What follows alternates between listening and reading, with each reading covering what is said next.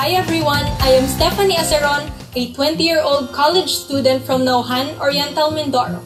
I joined your Song of Excellence not only to help my parents, but also to enjoy and express my love for music.